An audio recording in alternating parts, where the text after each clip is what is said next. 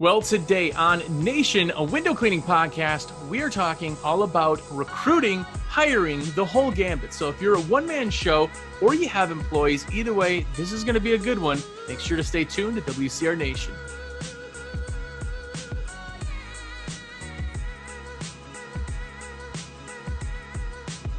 What's up, everybody? Jersey here from windowcleaner.com, and you are here.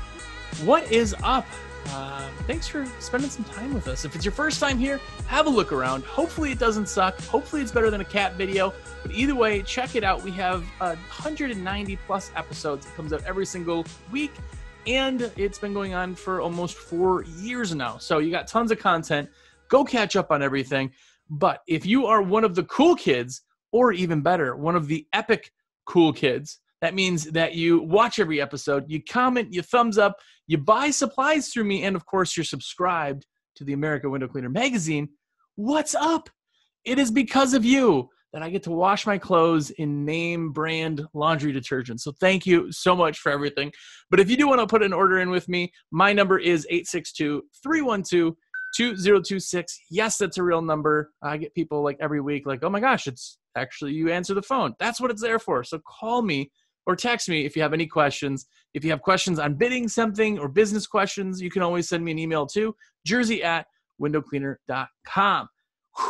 Well, thank you so much. Uh, first off, I want to say a big shout out to Micah. The only shout out I have this week because this, I didn't write anybody else's names down and I just talked to him and I told him I'd give him a shout out. So, what's up, Micah? Uh, congrats, man. Well, today, uh, after a rushed intro, uh, we're talking with Sean all about recruiting and uh, hiring, which is probably the biggest headache that any of us run into. Not you, maybe, because you have things in place, but for anybody else, it is a headache. And this time of year, we're all scrambling to try to get employees, but we don't have the work yet for the employees. But you can't have the employees after you have the. It's this big catch twenty two. But Sean, what's going on, man? How you doing? Uh, thanks for having me on today, Josh. Definitely, definitely. Well, if anybody is living under a rock and doesn't know who you are, what you do, tell us everything. Okay. Well, uh, Sean, Day Blue Sky Services. I owned a cleaning company myself for about 20 some years in Cleveland, Ohio. Um, mine was more the interior house cleaning for Mr. and Mrs. Jones, then some medical buildings and things like that. Blue Sky Services, big cleaning company outfit in Minnesota. We got together and decided that uh, we wanted to grow a business company together, and we did. We bought uh, through acquisitions. That was our growth strategy. So we bought several cleaning companies, and we came across the um, a pretty big one, and uh, uh they it was a couple that owned it for 30 years. We bought it. They retired, and about 12 of their employees went along with them. And so uh, we're boogieing around. We got to hire a lot of people out there. And what we found out quickly was we were mediocre at recruiting. And this is several years ago, by the way, Josh. And so what I said was, everybody leave me alone. I'm gonna, I'm gonna, we need to be world class at recruiting for our window cleaning outfit, and if we're gonna make this happen. And nine months later, I did almost nothing but put the system together for our company. It is very, very seldom that we are short staffed at Blue Sky Services. Nice. In fact, I'm recruiting for about 20 window cleaners for our own window cleaning company out in Minnesota in the next month and a half or so.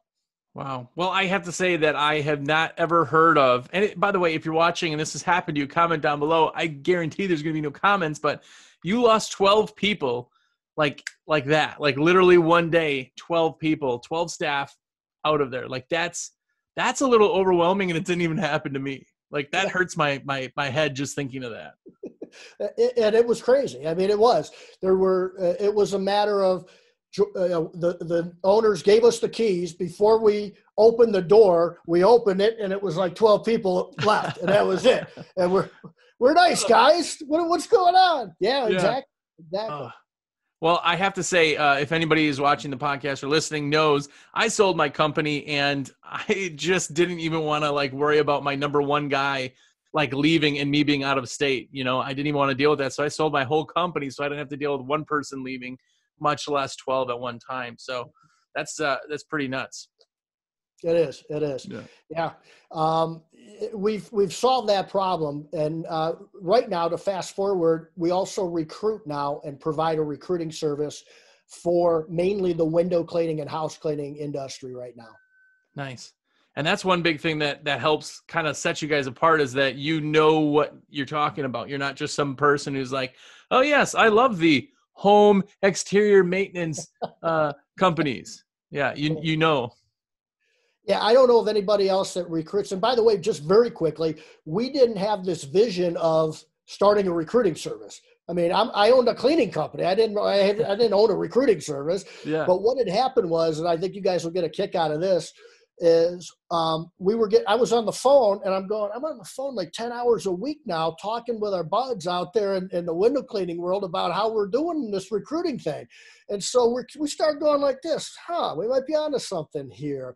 I remember the first invoice we sent out. It was a buddy of ours and he and we said we'll just kind of try to help you and see if we can help you. We got him like three three texts, and he says, "How much do I owe you? This was great." And I, I how much? Do, so I said, maybe a case of beer, I guess. You know, I don't know. Nice. We, we sent an invoice for a case of beer. That was our first customer. Nice.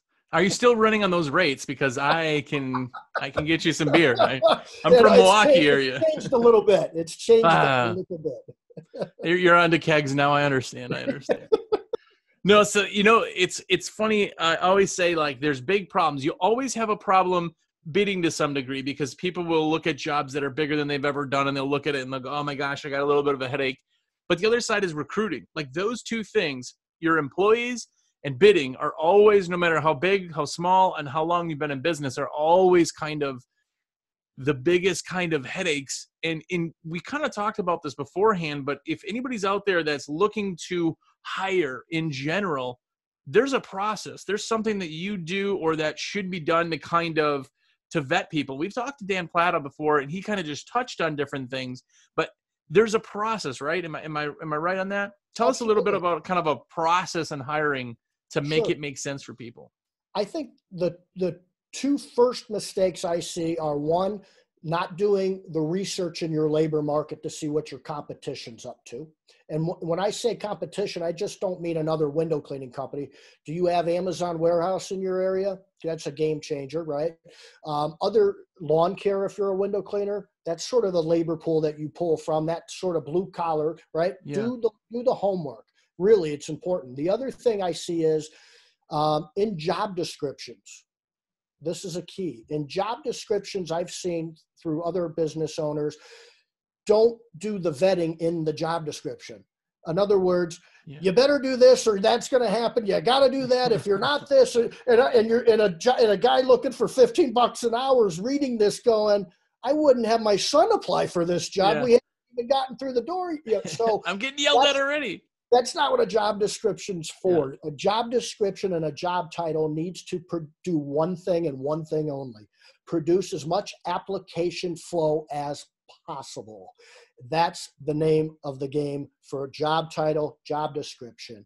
So yeah. the word cleaning technician, I assure you that there are not a lot of window cleaners and house cleaners clicking, I need to be a technician. Yeah. That may be a nice fancy word and certainly appropriate for our businesses out there to hand to an employee and the job description has a purpose. This is what we expect you to do employee. With recruiting the job description is nothing more than a bunch of keywords and strategically placed to cre- create that application flow that starts the process. And, and yeah. after that there's an entire vetting system that you need to really put together to uncover things about that applicant. So I always get this question, and here, here's, you know, you've heard this, Josh. Everybody listening to this has heard this. I can get applications on Indeed or Craigslist, but they all stink. They're, they're all terrible. And it takes a hundred of those applications to find one good employee. And here's the problem. You've got a thousand things as a business owner you're doing, and that one out of a hundred might be the 89th one you need to get in touch with.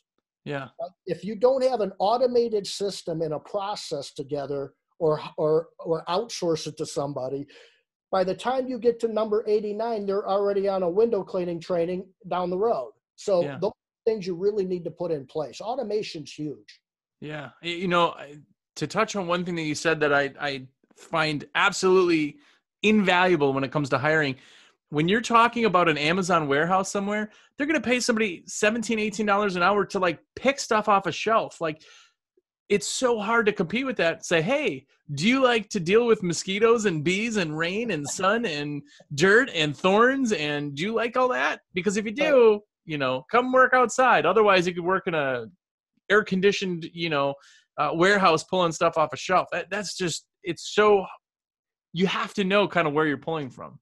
Exactly, and and that's and that's important too. And, and there's those are the things i talk about with specific questions and i'll give you one specific one. It's that's a question we you know there's industry specific questions we ask when we're looking through and vetting candidates. And one of those is um, for example are you uh, more comfortable knowing you're going to get off at 5 p.m every day or are you okay and comfortable knowing that you could get off at 2 at 3 or at 7 at night?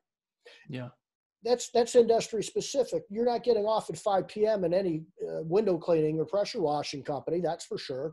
Uh, yeah. and, and there's a whole mess of other questions. We like to we like to find out if we're hiring victims. Okay, if you have a victim mentality, and let me throw this one out. This question's worth five thousand dollars to anybody that uses it. Okay, on a scale from zero to ten, rate your luck in life. Rate your luck in life. Mm-hmm. At Blue Sky Services, the data shows this. This I picked myself off the floor when I when I did the homework on this.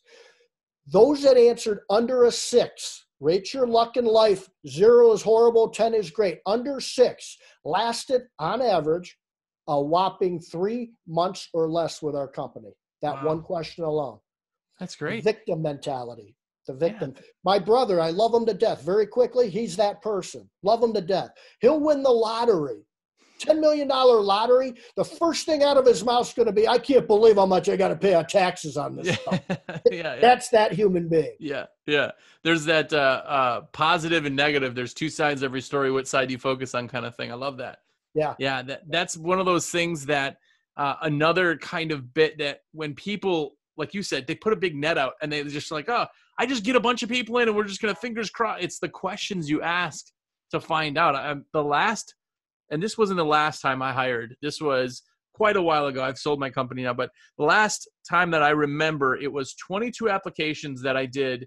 Uh, did phone interviews with kind of just real quick. Hey, this is what we do, and then we plan regular interviews, have them come in and speak. Out of the 22, we scheduled 12 people to do on real interviews. Every 15 minutes, we did it and uh, one person showed up. And yep. the first question before he, as he was sitting down, he was like, "I just wanted to ask real quick, do you guys drug test?" Like that was his first question. I'm like, "Well, no, I mean we don't, but I get where you're going already with that." So, yeah, yeah, yeah, that's a great point too. I mean, you know, those no shows, the old, do you have a pulse? Um, you know, that type of thing. And it's so destructive to your company, though. If you think about it, your A players are sitting there going, and you never want to be short staffed either, though. You need to have that because not only did you hire somebody and not vet them properly, but now they're working for you and they're late, their quality sucks, you know. And but what can't what you can't fire them? My God, I'll lose clients. I, I can't fire them. So it ruins your culture when you don't vet properly through the recruiting process as well. Yeah. At Blue Skies, the number of no shows drastically reduced. Drastically. You know the one. 10, just like you just said, 10 seconds into the interview, you're telling yourself there's no way on earth this human being's getting in front of a client, drastically yeah. reduced. You, yeah. in fact, if you put a vetting system together, and I, and anybody, um, I, I'll, I'll tell you this: anybody that reaches out to me, I've got the questions that we use, and I'll send it out to anybody that oh, wants free. Uh, but it's important 95% of the people that make it to our interview table are hired because wow. of the vetting we do up front. Yeah.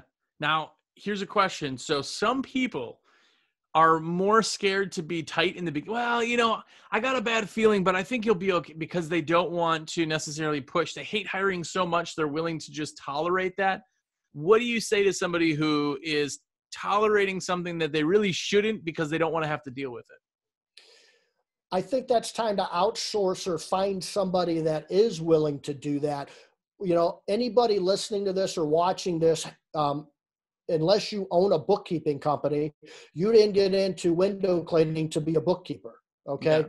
None of us did. That's not who we are. Uh, you don't really do it to get into recruiting either. So go and either find as much as you can or you hire somebody or outsource it just like you do. Unless you love to do tax accounting, you probably outsource that. If you yeah. don't like to recruit and there's an individual that as a window cleaner that will go fetch $80,000 in revenue for you a year, you better find somebody to do that the right way if you don't like to. That's what oh I gosh. tell people. Yeah. I mean that that part we kind of here's the thing the employee you know people always the employee thinks that they need you or that you know they're more needed and we think that we're more needed it's not the case. If you have an employee he brings you money he or she. If you don't have employees you can only cap out at so much. So employees are super super valuable. Just the retention side of it is so much more valuable. If you can find somebody good right out of the gate that means that you can kind of hold on to them a lot longer and you're not paying to have a new employee trained and and lose you money and then eventually leave after three months. I mean that's kind of the rotation that a lot of people are stuck in and basically what you talk about in my opinion uh, is the hardest part of business and also the most profitable part of business which is capacity and demand that's what you're talking about there right yeah. capacity being your number of employees that you need to take care of your clients and the clients are your demand. If you match capacity and demand perfectly every day you're in business you will be the most successful window cleaning or pressure washing company or house cleaning company on the planet. That's yeah. the name of the game and that's why recruiting is so important. Yeah. Yeah i love the uh the abh kind of concept. The always be hiring thing is always in my head yeah. to like always have people a fresh pool of people so that you could pick from because here's the other thing we're seasonal all of us yeah. we're pressure washing seasonal uh, pressure washing seasonal roof cleaning seasonal gutter cleaning season everything is seasonal. So we need employees at certain times and we don't need them as other times. So when do you hire? When you need somebody or when you don't need somebody? What happens when they leave? It's when you need somebody that's when they leave. Yeah. And we are um, we have a hopper strategy you know we're we're you know we call it the abcs of recruiting always be recruiting that's what we yeah. call it the abcs nice um, and, and, our you know our clients and ourselves what we have a hopper strategy. We have a great client out in evans uh, georgia owns a pressure washing outfit. Five employees. He had great retention. Two of them left in one day. What oh, do wow. i do? Because he was using the hopper strategy that we recommended and that we use he literally was able to turn around and hire two techs in two days. Wow. Two days and that's because of the hopper strategy. And I, yeah. I always say, and I'll say it quickly, what is the hopper strategy? It's it's having that pool of employees even when you don't need to hire. Five starters on a basketball court. Look at the bench. There's nobody sitting there. I promise you, they're not working hard on their free throws and everything else. They look at the bench and there's five, six people ready to take their job. Their rear ends are working their butts off to keep that job. Same concept.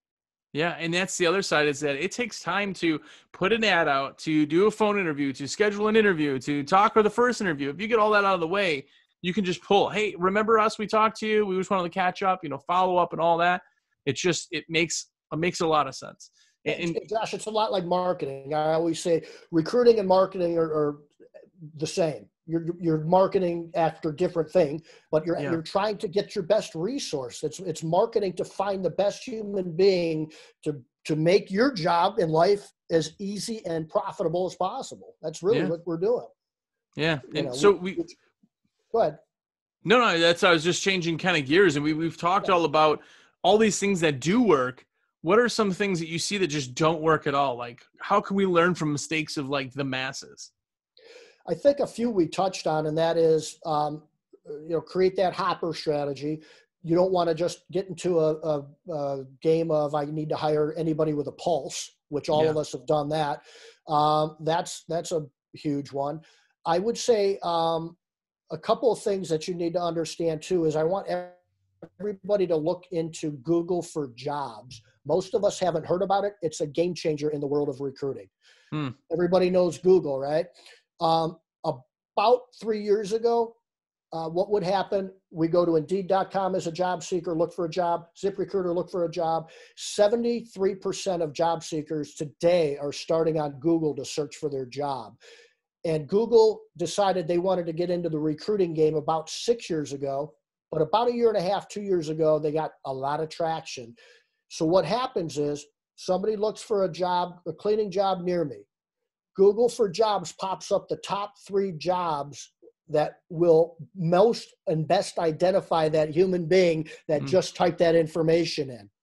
Unlike wow. Google AdWords and throwing money to go get a client or Google or pay per click and get clients, right now at least, Google does not have anything you can throw money at to get listed on the top four or three positions to so acquire cl- uh, employees. It's like actually organic. It's very organic. You under you have to understand the tags, the or, the algorithms, all those sorts of things. It's very organic. It's only organic at this time, and most of our clients and ourselves are on the top three. Wow. Wow. See, that's one thing that I didn't I didn't even know that Google was doing that. I mean, I know that they should be into everything just because they have that. It's like Facebook. They know who you are, you know. Right. But uh but that's super super important is is there is there something that you say hey here's the first three things you should do if you're starting to hire is there things that people should do that are maybe a free option or a quick option to kind of get the ball rolling and how do you get your toes wet in in hiring say it's the first time somebody's ever looking for somebody yeah, I think the, the best thing to do is probably um, understand Indeed's probably the biggest job board in the world. They've got free stuff. And I think that you just need to do your homework on the keywords that work in your labor market and your geographic area and sprinkle those around in your job descriptions in the first paragraph. You can post it free on Indeed, and you're going to get application flow almost anywhere you are in the country. And hmm. it's just a matter of getting back and sifting through that and having your questions in place. That's what I recommend. The other one is Craigslist, and Craigslist used to be awesome. Then they went away and they weren't so good, and they're back in, in a lot of parts of the country again. Those are the two ones that I would recommend highly to people that are just kind of starting out in it. Yeah. Now, on top of everything, I get again probably the most most regular question is like, "Hey, I think I'm ready to hire my first employee. Like, what i mean everybody's so in, incredibly scared tell somebody who's completely new at that like here's the bare bones to what that entails and um, kind of explain that a little bit to people that maybe are looking for their first employee like calm down you know relax this is how that all goes like explain yeah. it yeah that's a good question it's and, it, and it, the answer is going to probably surprise everybody. I would first work on my culture at, at my company okay? Because a lot of what we do is we we like to talk about our culture and job descriptions and set those expectations but you damn well better meet those expectations when you do hire somebody or it all blows up on you. Yeah. Um, and and if you tell people in your in your ad for recruiting that you pay $500 a week and you only pay 300 you're not going to keep somebody around. Yeah. um, you know it's just a matter of matching those expectations and realizing what you really can pay and what you really are doing with culture in order to hire somebody. That's actually i think more important than almost anything in recruiting yeah i love the culture. You guys that listen or watch know that i i mean we had a stocked fridge and we had uh, every friday we had uh, lunches we had ping pong tables in the shop and dj setups on the second floor like we had it. So when we had people come in i said okay great. Well we've told you a little bit about our company. You've told us a little bit about us but let me show you kind of what else comes. Because everybody's so focused on pay but it's not really all about pay. Like you said it has to be what you say but there's so many other things. Do you offer benefits? How can you offer benefits? Do you offer you know do, can they take a vehicle home? Do they get a cell phone? What other little things that makes that kind of culture exist? Like what other things can you kind of offer? And that that's super that's just as important as having them want to work for or you wanting them to work for you is having them actually want to work for you. Absolutely. Yeah and and that and that's probably you know like i said the most important thing.